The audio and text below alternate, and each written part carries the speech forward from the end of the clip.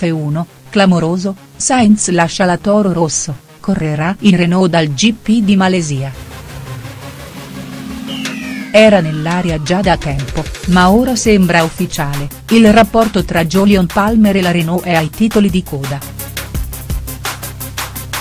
E lo è anche quello tra la Toro Rosso e Carlos Sainz, poiché lo spagnolo, dopo una stagione in cui ha più volte manifestato la sua voglia di lasciare Faenza, dal Gran Premio di Malesia, dovrebbe correre proprio con la Renault, in sostituzione di Palmer, anticipando, così, un passaggio che sembrava destinato a compiersi a fine stagione.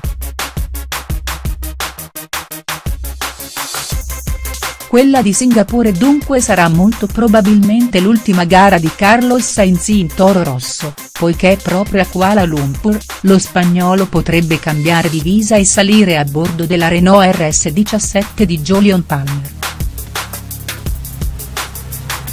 Un passaggio che sembrava già fatto, ma che avrebbe portato Sainz in Renault, solo a fine stagione, invece, il team di Enstone è stato capace di scippare il figlio d'arte a Marco Ico, in anticipo.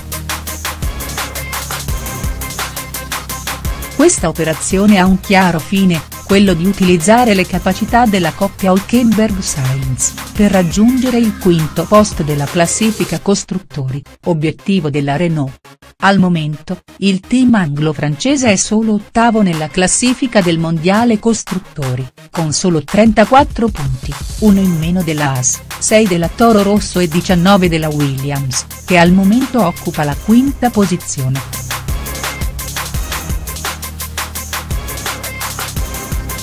Un pilota come Sainz potrebbe essere cruciale per la volata stagionale nelle ultime sei gare del mondiale. In casa Toro Rosso, però, la soluzione è in casa, poiché il giovane Pierre Gasly meno campione del mondo di GP2 nel 2016, già da qualche gara era stato allertato per salire a bordo della vettura di Faenza, anche se le preoccupazioni riguardavano più il russo Daniil Kvyat, a rischio squalifica dopo gli incidenti di metà stagione.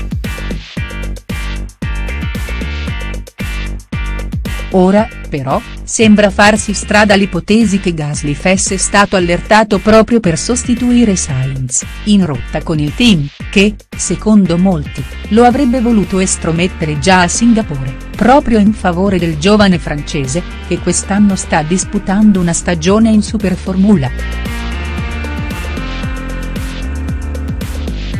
Invece, alla fine, il francese salirà sì sulla monoposto di Sainz, ma soltanto perché il madrileno andrà via e salirà sulla Renault, al posto di Jolion Palmer. L'arrivo di Sainz, inoltre, libera Robert Kubica dai vincoli con Renault, dunque, il polacco potrà cercarsi un sedile per il 2018 senza dover rendere conto al team francese.